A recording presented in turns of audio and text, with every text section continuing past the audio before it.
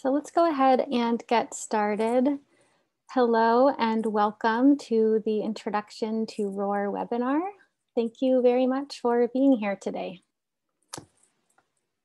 So in today's webinar, we will provide an overview of the basics of what ROR is and why it came to be. And we will do a walkthrough of the basic components of the registry and provide examples of how ROR IDs are being used. We'll close with some information about how you can get involved in ROR and stay up to date on the project.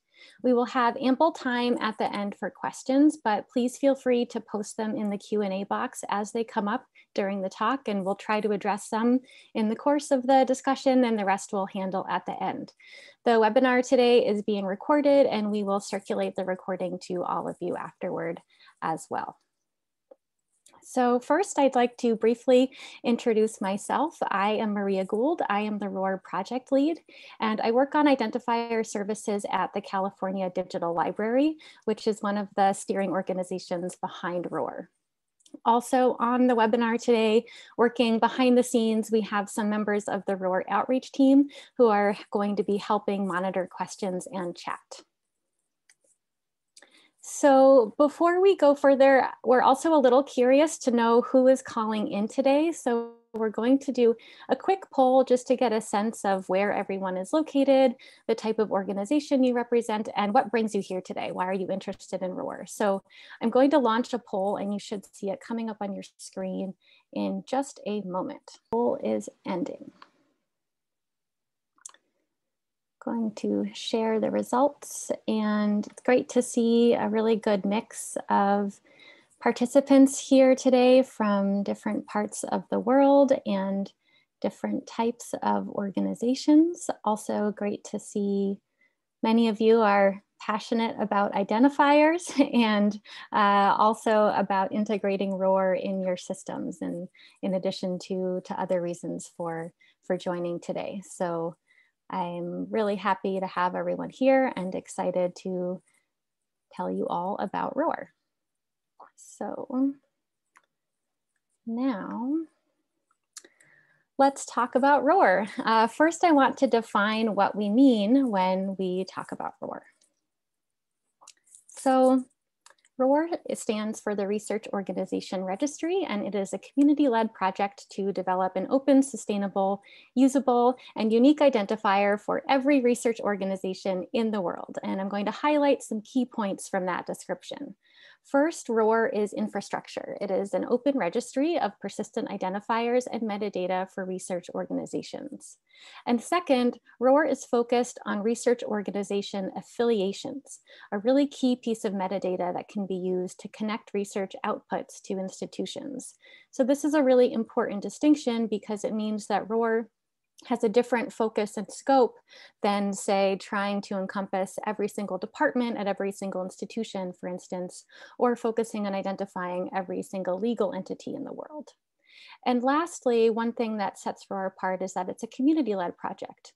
Our focus is on developing open data and infrastructure for and with the scholarly research community. So that means libraries, institutions, research administrators, publishers, funders, repositories, and more.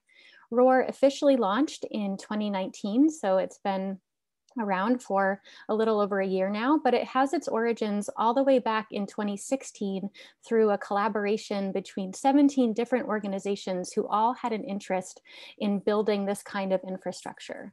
The project is currently led by California Digital Library, Crossref, and DataCite, with five other organizations functioning as part of a steering group for ROR, including Digital Science, which, which contributed the seed data that we used to launch the registry.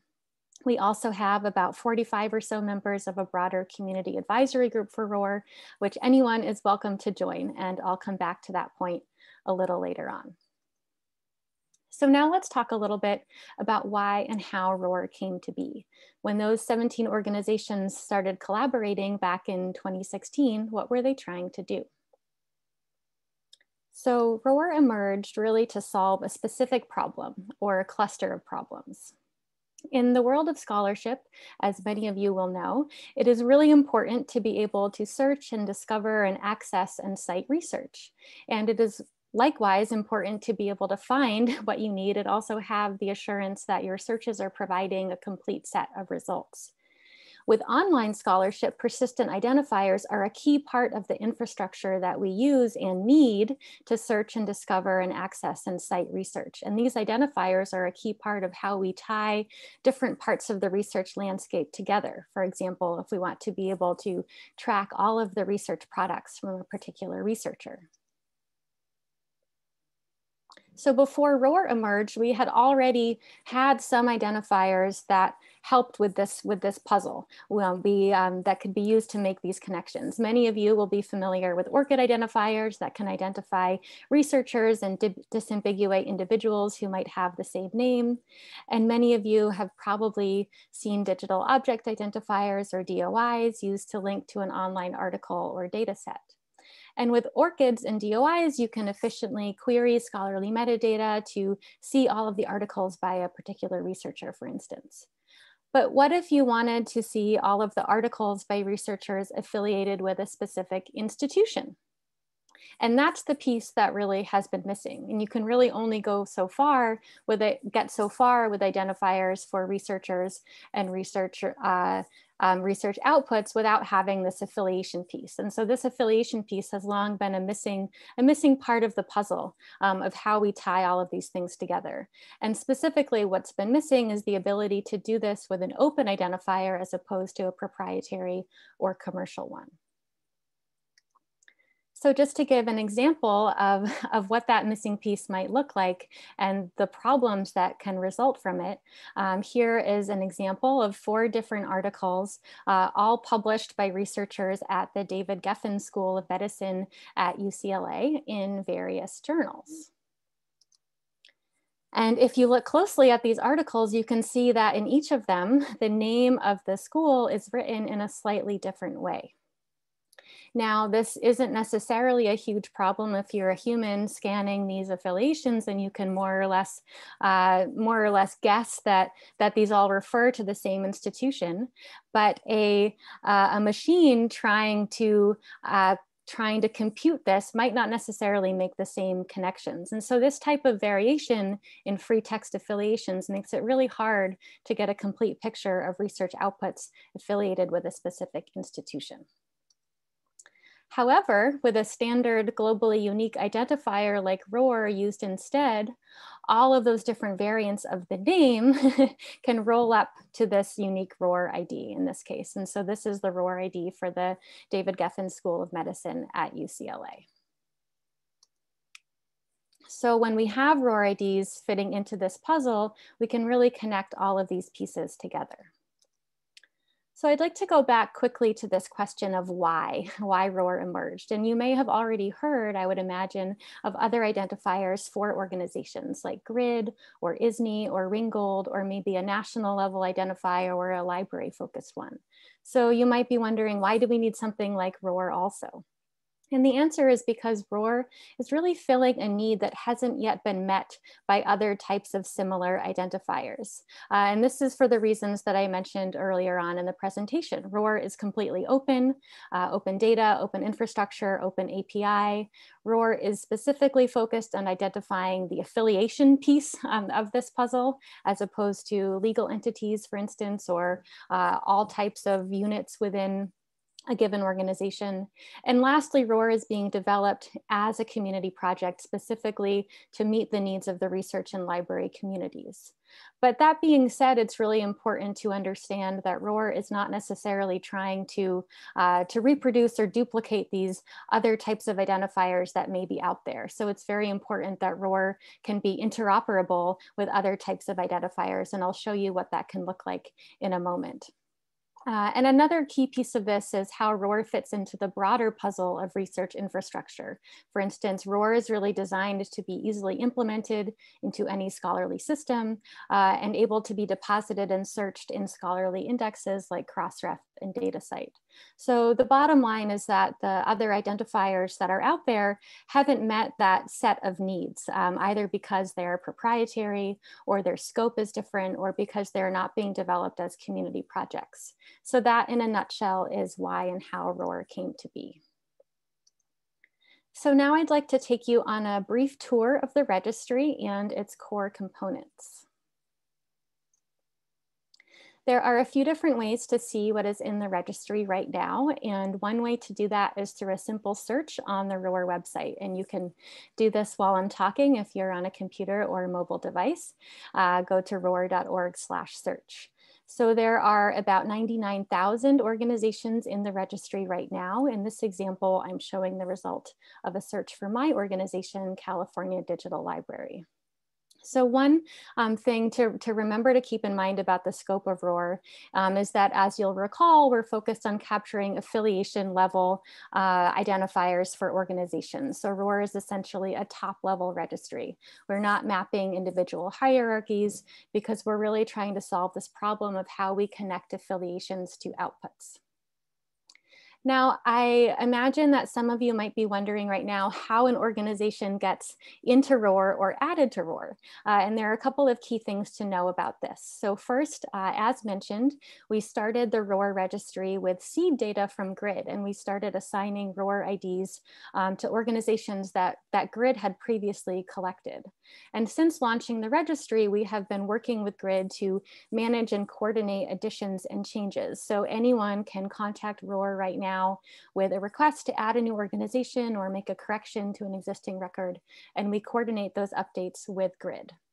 Uh, longer term, what we're working on right now is building comprehensive and community-based infrastructure on top of this so that we can make changes independently in ROR and curate the registry with community input. So continuing on with our tour, another way to search and filter organizations in the registry is through ROR's Open API. And we also have a public data dump that's available so you can download the entirety of the data set as a JSON file if you prefer to work with it in bulk. So going back to the ROR record that I showed in this case for California Digital Library, I'm going to highlight a few things in the record. Uh, the first thing that I'll point out that's circled here is the ROR ID. This is a URL that will always resolve to the organization record. And the ROR ID is an opaque string that supports long-term persistence.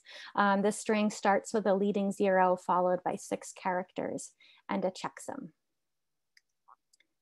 In addition to the ROR ID, we have other metadata about each organization in the registry. So this includes the organization name. We have names in other languages, including support for uh, multiple character sets. We can have acronyms, the organization URL, and the location. So as part of the work to build ROR on top of the seed file from GRID, uh, we started with a basic set of metadata from GRID, and we're working now to incorporate a few additional metadata fields that ROR didn't initially launch with that are available in GRID right now, such as some basic parent child and sibling relationships, not necessarily going into the department level as I've explained, but being able to associate related institutions at that top level. Uh, and we're also going to be bringing in some additional more granular location data uh, like city and region. So another thing to point out in the record is that we are also mapping to other identifiers for the organization when these ex exist. And this interoperability is really important for ROR to be widely adopted and used and to support crosswalks between different types of identifiers.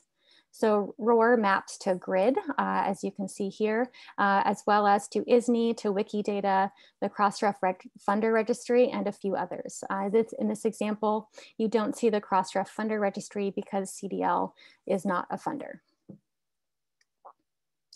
We also have some tools available to facilitate working with ROR data in the registry and cleaning up affiliation data. So right here, I'm showing that we have a ROR reconciler that works with OpenRefine that can be used to clean up messy data sets with affiliation strings and map them to ROR IDs so you end up with a clean and disambiguated list of institutions. We have an affiliation matching function in the ROR API that allows you to feed it a free text affiliation string and have it match to the corresponding ROR ID. So this is something that a number of ROR users have asked about because they might have a large amount of legacy content that has affiliation strings and they want to retroactively map those affiliations to consistent ROR IDs instead. So this is a quick illustration of how that might work. And I should mention that all of the code and documentation for these tools and for the ROR uh, API is available on the ROR GitHub and we'll have links available uh, toward the end. So now that we've done a walkthrough of the registry itself, let's turn to a quick example of how ROR can work in practice. So I want to emphasize that ROR is really not going to be useful on its own. The idea is for ROR IDs to be implemented in various systems and captured in research metadata so that we can achieve that, that complete puzzle, that complete picture, uh, like we were talking about in the beginning of this webinar. So one way to understand ROR in action is through an example for data publishing in this case. I'm going to be using the example of Dryad. So Dryad relaunched its platform last year and built an integration with ROR to collect institutional affiliations for researchers submitting data sets. So this means that when researchers submit a data set to Dryad and they're asked to provide an affiliation, the affiliation lookup field that you see here in the animation is actually making a call to the ROR API to find a corresponding match in ROR based on what the researcher is typing. And then the researcher can choose the appropriate affiliation from the list of options that is presented. So the researcher doesn't even have to know that ROR is operating in the background, but it allows Dryad to collect standardized affiliations from a controlled list.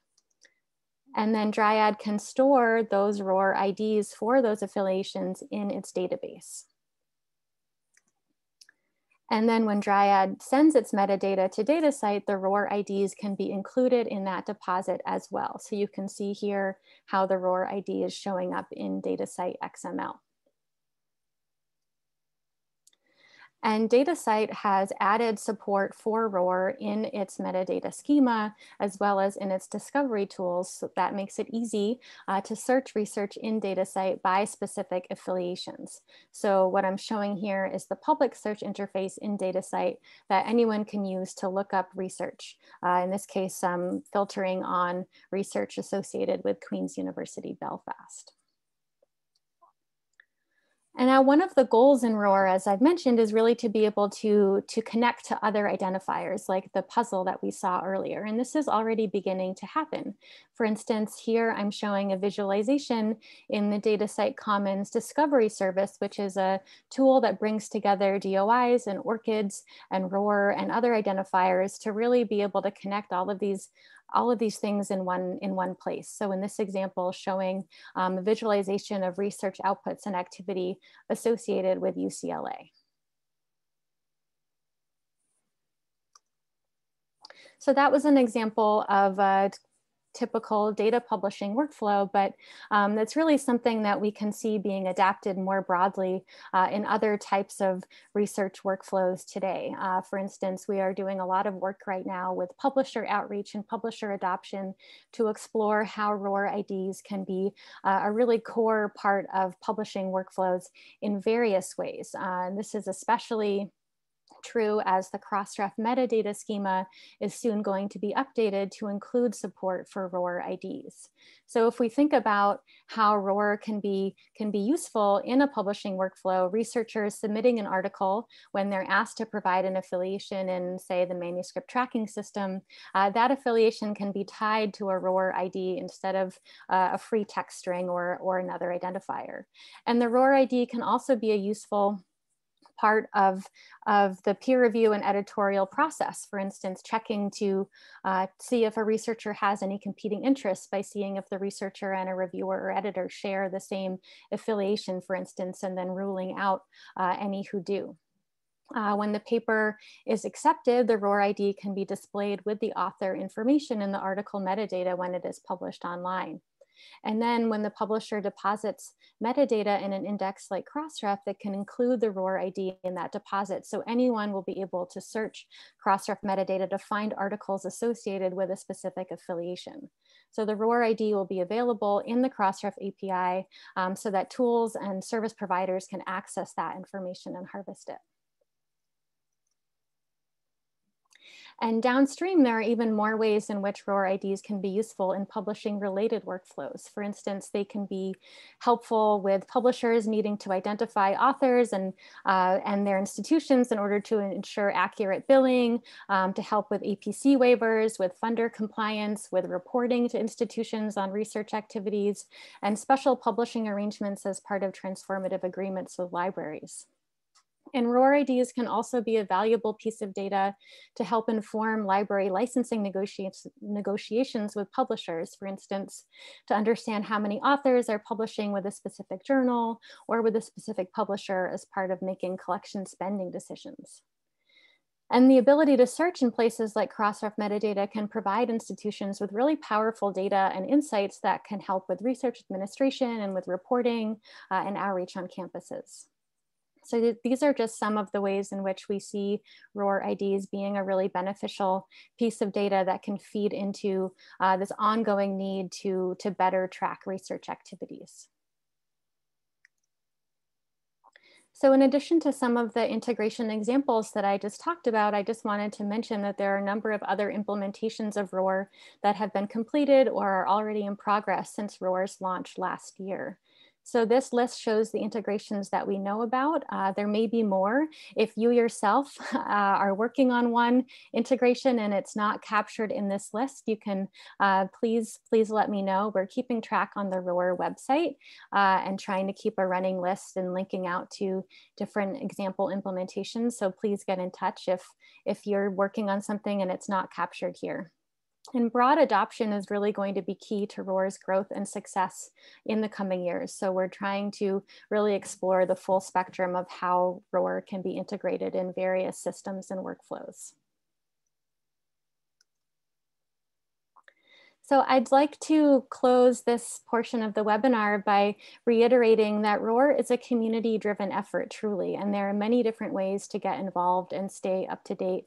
And I want to encourage everyone here to take advantage of those options. So I hope that this webinar serves as an invitation and a word of encouragement to do so.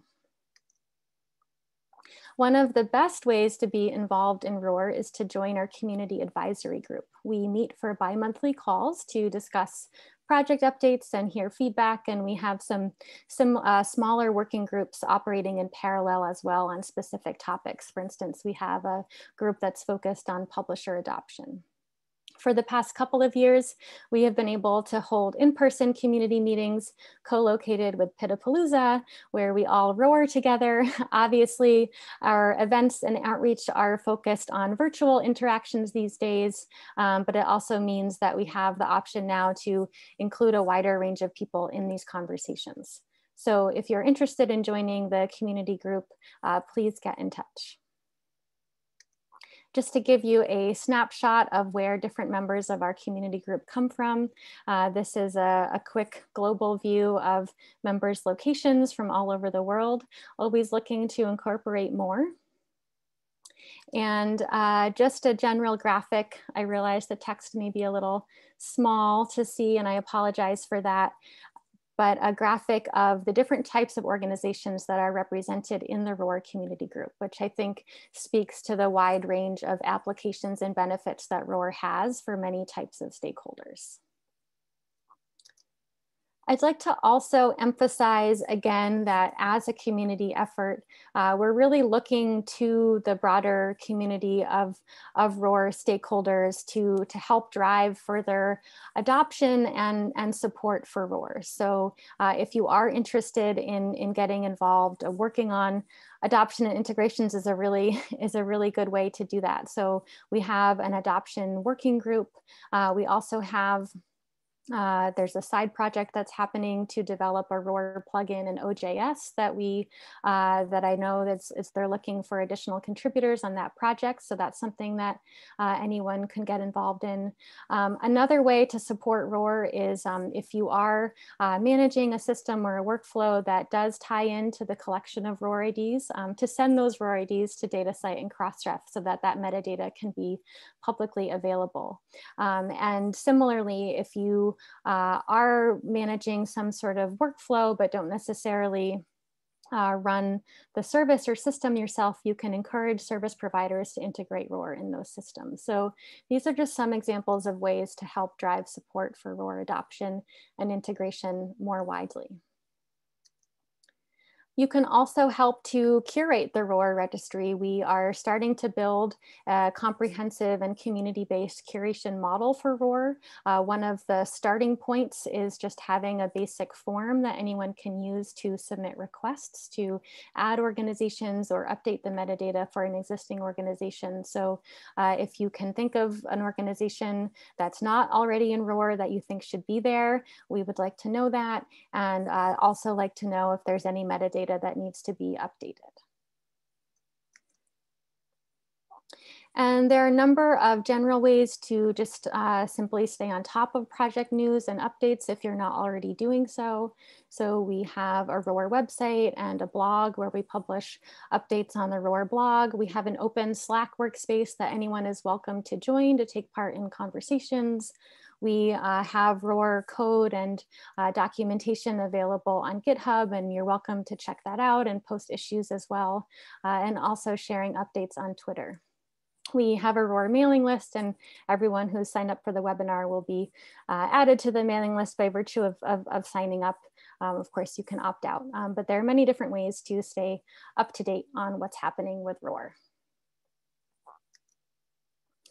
So that concludes the presentation portion of this webinar. I really appreciate everyone's attention and interest, and I'm really eager to see what kinds of questions and thoughts have come up. So I'm going to pause for a moment and take a look at the Q&A uh, Q&A box and see what's there, and then we'll have some time to go through your questions.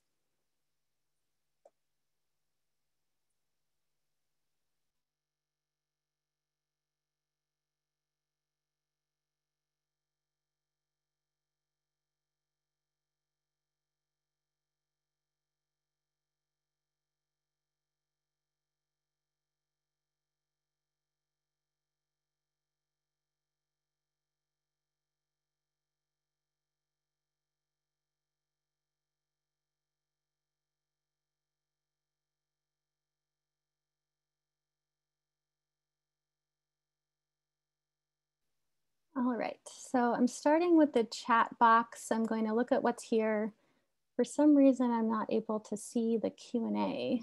So wondering if Rachel or Paul could help with that. But I'm going to start um, just by calling out a few comments here in the chat box that I'm seeing and looks like there have been a number of links popped in to help point people to the right information, which is great. Thank you very much.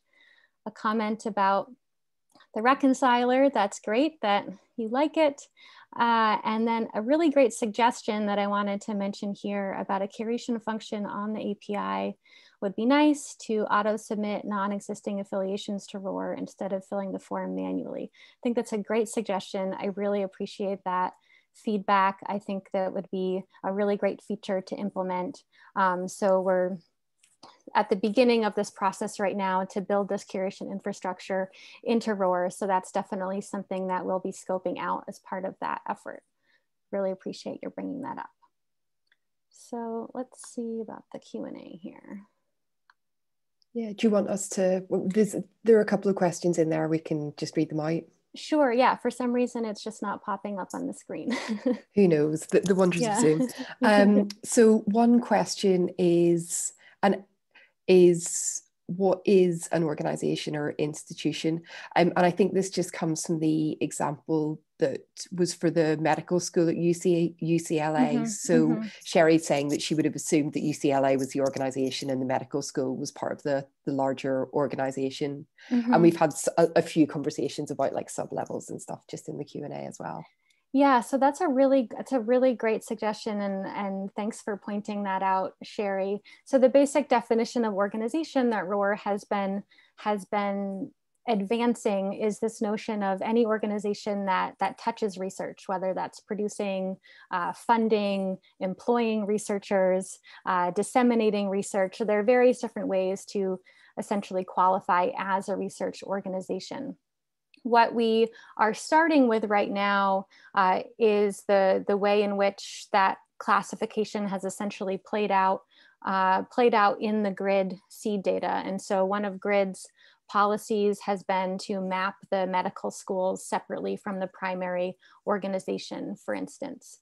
Uh, but that's not the case for like a law school, um, business school, for instance, those, um, those are rolling up to the primary affiliation for the institution right now. So this is really a question that we want to explore with community input to really understand this notion of does it, you know, what are, what are the what are the really important needs and use cases, for example, to have a medical school uh, be captured separately?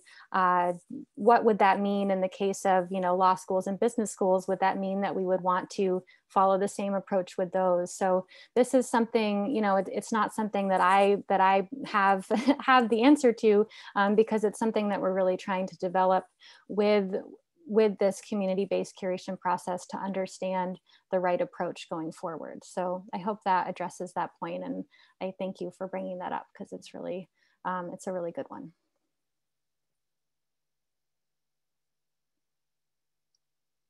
Okay, and the another question is, um, is there any annotation with schema.org properties? Um, Nick then he thinks it would make sense to map to schema.org forward slash organization and its mm-hmm. subtypes.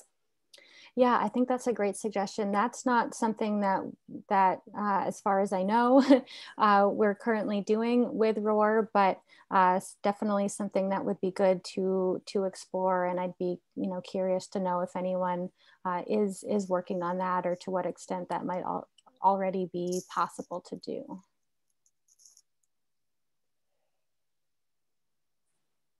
So if there are any further thoughts on that, um, happy to happy to see any follow-up notes or thoughts in the chat or we can follow up offline as well.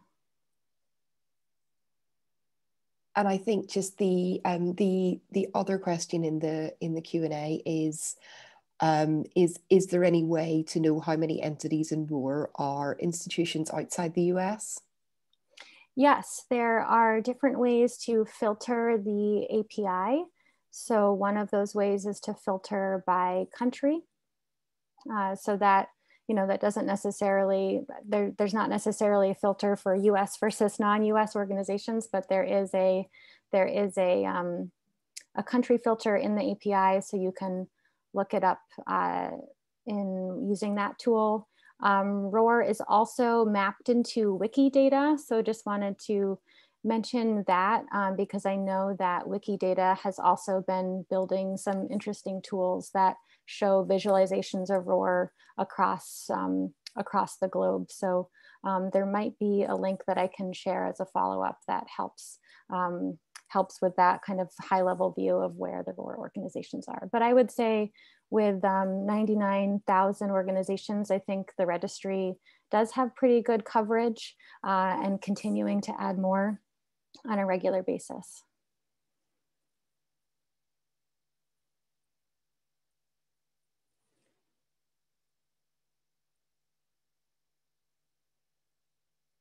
So if anyone has any further thoughts or questions or feedback, please uh, feel free to take a moment to add that to the Q&A box or the chat box.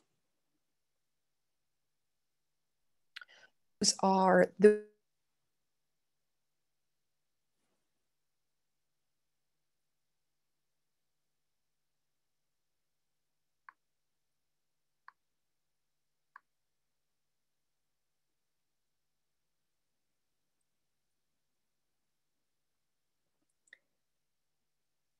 All right, so I think that concludes the webinar for today.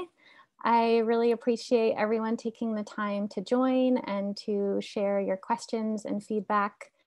Please stay in touch. You can email info at ror.org at any time if you have questions or further thoughts. And if you're interested to join the community group as well to stay more involved on a regular basis, I would encourage you to do so. We will um, look to do uh, another type of webinar like this about six months from now. So um, tell all your friends. And um, thank you again for being here. I really appreciate it.